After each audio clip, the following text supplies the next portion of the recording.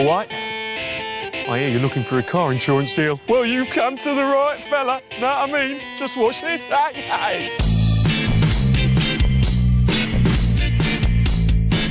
Meet 47 year old Douglas Evans from Wales. He decided three years ago his car insurance was costing too much. I was paying car insurance either through Barclays or the post office, and I was paying between 200 and 300 pounds.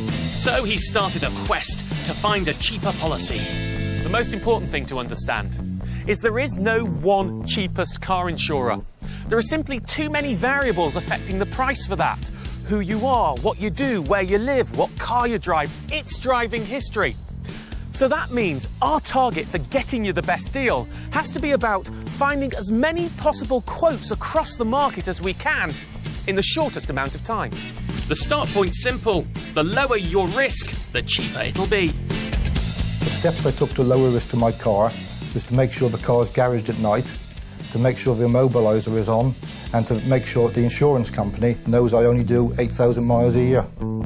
Next, use as many internet comparison services as you can.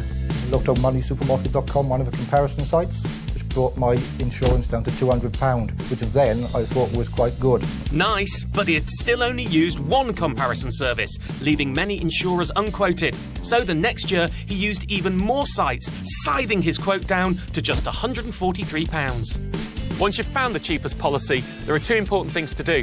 Firstly, double check the price at the insurer's website because the comparison services do make some assumptions. And then check that the policy actually covers everything you want. For example, if you want legal cover, does it really have it? It doesn't end there, though. Douglas followed my final trick. Once you know the cheapest insurer, try and buy your new policy through a special cashback website. This knocked a further 100 quid off. That brought my figure down to £43.85, and it would be even better at £26 if I hadn't had a courtesy car. I was absolutely amazed at this figure.